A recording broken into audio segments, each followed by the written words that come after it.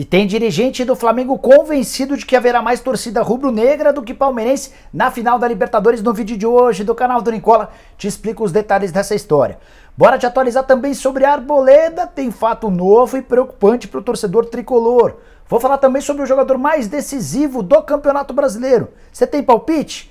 Para completar informações sobre o Corinthians e uma pressão grande em cima de familiares de Silvinho, vou falar também a respeito do Santos Será que o Peixe entregou naquela partida contra o Corinthians em 2005 7 a 1?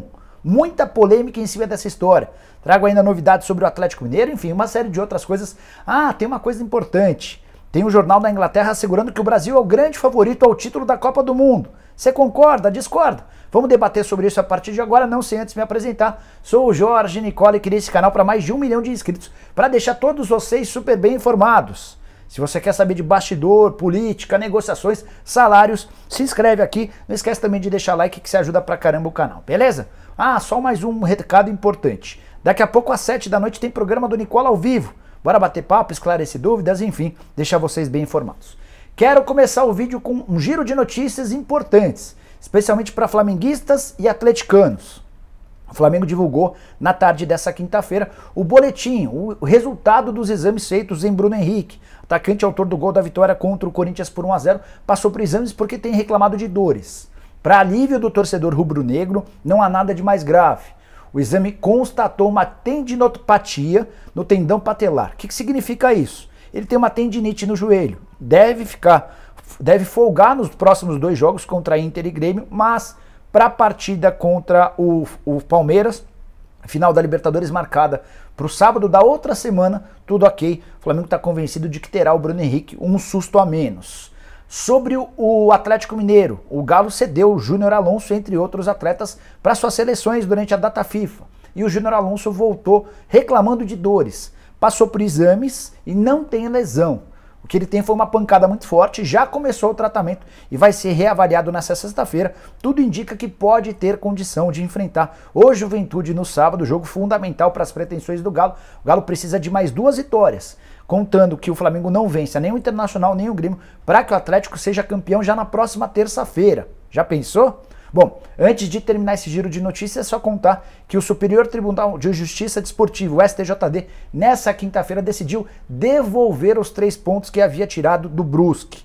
Você vai lembrar do caso do, eh, do Celcinho, jogador do Londrina, um dirigente do Brusque cometeu ofensas contra o Celcinho. Num primeiro momento, o Brusque foi penalizado em três pontos, três pontos que o colocavam em situação bem delicada na luta contra o rebaixamento. Mas nessa quinta-feira houve uma nova audiência e o STJD entendeu que não foi uma ofensa gravíssima, e sim uma ofensa grave. Se houvesse uma, um outro tipo de xingamento, aí sim caberia a perda de três pontos. Com essa revolução, com essa reviravolta, o Brusque está fora da zona do rebaixamento e em uma condição um pouco mais folgada. A curiosidade triste dessa história é de que há essa reviravolta poucos dias antes da, do Dia da Consciência Negra, marcado para o próximo sábado, dia 20. E aí é bom para a gente dar uma refletida e é também para avaliar quem são os responsáveis por cuidar das leis no esporte brasileiro. Quero falar agora a respeito do Santos, do Corinthians, mais especificamente do Santos, e de uma polêmica reaberta nessa semana. O Evandro Rogério Román, árbitro aposentado, responsável por apitar a vitória do Corinthians por 7 a 1 contra o Santos em 2005, deu uma entrevista nessa semana, é, é, foi a um canal de TV em Santos, canal do Wagner Frederico. E nesse programa, o Evandro Rogério Román afirmou que os atletas do Santos entregaram o jogo para o Corinthians para derrubarem o Nelsinho Batista. Isso tem causado enorme revolta entre torcedores do Santos, entre atletas que estiveram em campo. O Santos, na oportunidade, tinha Saulo no gol, Paulo César, Alisson, Rogério e Kleber, Fabinho, Heleno, Ricardinho e Giovanni, Geilson e Luizão. Nessa quinta-feira, dois desses jogadores citados estiveram, de, fizeram declarações, o Ricardinho e o Luizão. Asseguraram que não houve nada disso, que foi uma má partida, uma má atuação, que nada deu certo. O Luizão até ficou mais ofendido e pediu, exigiu que o Evandro Rogério Roman citasse um atleta que ele falou que foi quem conspirou, quem liderou esse movimento. O Luizão também chegou a lembrar que o Brasil perdeu por 7 a 1 para a Alemanha e ninguém falou em conspiração, ninguém falou em entrega. Os gols daquela partida, você lembra? Ricardinho, ou melhor, O Teves marcou três vezes, o Nilmar marcou duas, o Marcelo Matos marcou uma vez e o Rosinei completou o placar. Já o único gol do Santos marcado pelo Geilson. Você, Santista e Corintiano, sentiu alguma coisa diferente naquela partida? Use o espaço para comentários para opinar, beleza? Bora falar sobre o jogador mais decisivo do Campeonato Brasileiro. Se você pensou no Hulk, no Gabigol, no Bruno Henrique ou no Dudu, se enganou. Quando a gente fala em gols, o jogador mais decisivo é aquele que com gols mais garantiu pontos para sua equipe. E de acordo com o levantamento do Goleada Info, o jogador que mais garantiu pontos ao seu clube foi o Elton, centroavante do Cuiabá. Elton, que é o segundo maior artilheiro do século com a camisa vascaína. De acordo com o levantamento do Goleada Info, o Elton assegurou vários pontos, só para checar 16 pontos para o Cuiabá com seus gols. Um ponto contra o Juventude no empate em 2 a 2 3 pontos na vitória contra a Chapecoense 3 a 2 mais 3 pontos na vitória contra o Atlético Goianiense 2 a 1 3 pontos na vitória contra o Santos por 2 a 1 mais 3 pontos na vitória contra o Sport por 1 a 0 e foi dele o único gol da vitória do Cuiabá contra o Internacional nessa quarta-feira, ou seja, mais 3 pontos que totalizam esses 16. Você gostaria do Elton no seu time?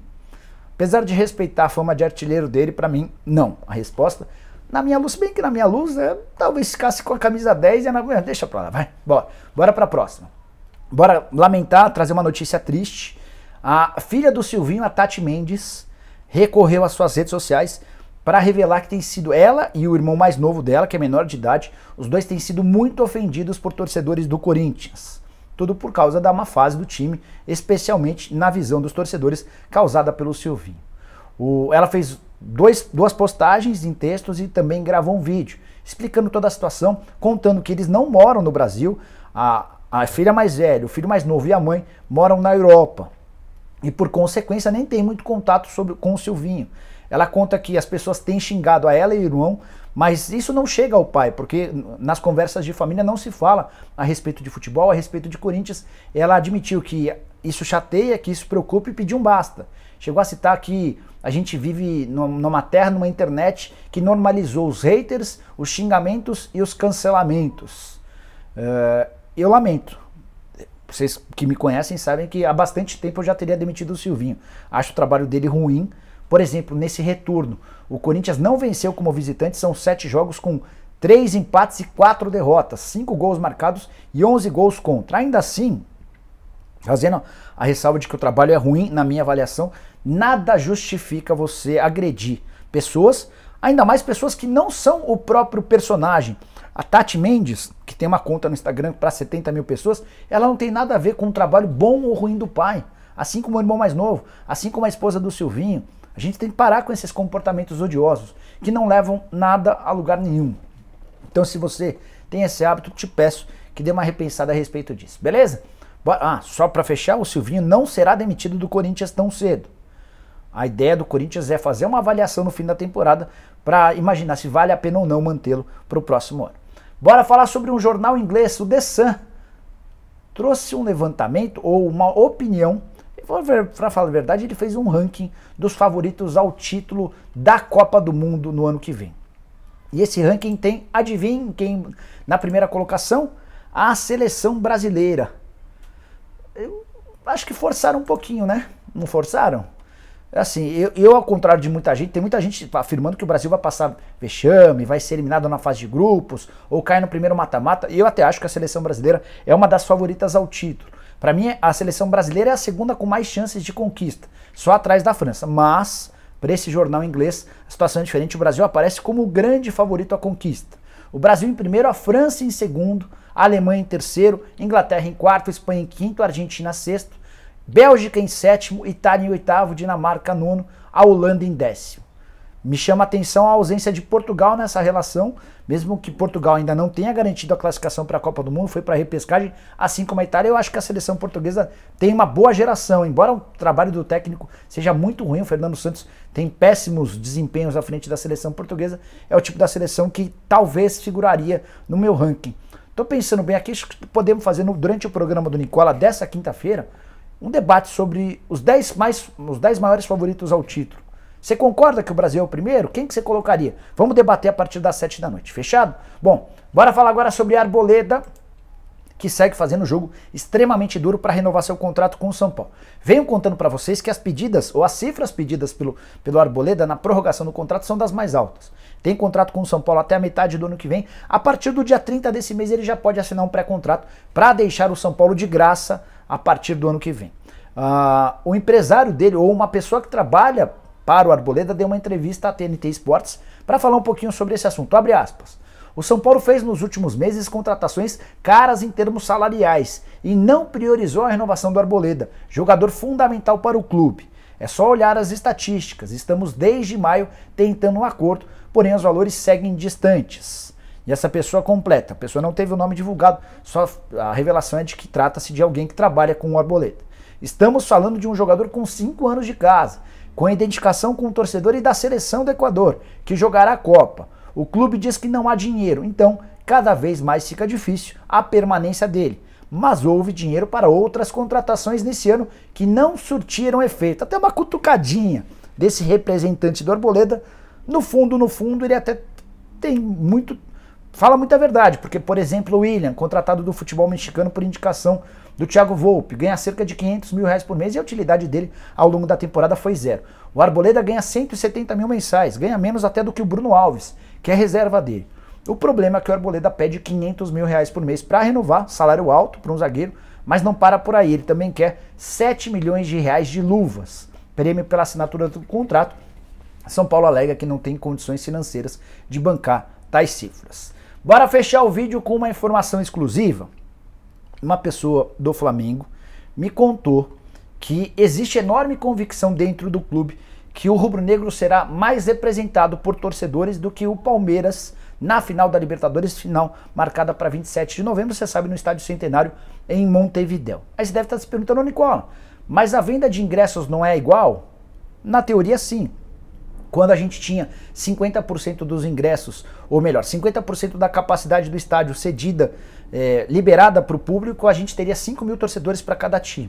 No segundo momento, a, as autoridades uruguaias aumentaram essa capacidade para 70% e mais recentemente, nessa semana, houve aumento para 100%. Então, na teoria, a gente vai ter 60 mil ingressos à disposição. Mas na prática a coisa é um pouco diferente. A Comembol distribuirá apenas 11.700 ingressos para cada clube. 11.700 para o Palmeiras, 11.700 para o Flamengo. Vários desses ingressos, inclusive, já estão esgotados. Vamos calcular 12 mais 12? Estamos falando de 24 mil lugares.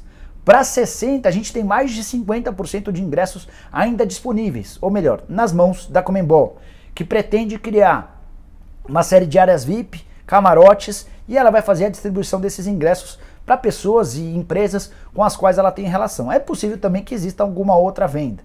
Ah, só mais uma, um detalhezinho importante. Além do setor para o Palmeiras e do setor para o Flamengo, haverá um setor misto. E esses ingressos já têm sido, ou melhor, já se esgotaram em várias agências de turismo. Os primeiros ingressos a se esgotarem foram do setor do Flamengo, depois se esgotaram no setor misto e por último se esgotaram o setor do Palmeiras. É baseado em toda essa conjuntura e de vários outros setores que não foram disponibilizados, pelo menos até agora, que os dirigentes rubro-negros têm informação de que haverá mais torcedores do Fla. Será que existe mais confiança do torcedor rubro-negro em relação ao título? Será que o Palmeirense anda desconfiado ou não tem nada disso? Ou a gente vai ter igualdade de condições em relação às torcidas? Isso só o tempo vai dizer, a gente vai ter de esperar até o dia 27 de novembro. Mas eu quis trazer esse feedback de dirigentes do Flamengo muito animados com a possibilidade de o Estádio Centenário vestir muito mais vermelho e preto do que verde na final do dia 27. Se curtiu o vídeo, não esquece de deixar like, de se inscrever por aqui. Não esquece também de participar comentando, aquela coisa toda. A partir das 7 da noite estaremos de volta com o programa do Nicola ao vivo para tirar todas as suas dúvidas. Combinado? A gente se vê daqui a pouquinho. Um abraço, tchau!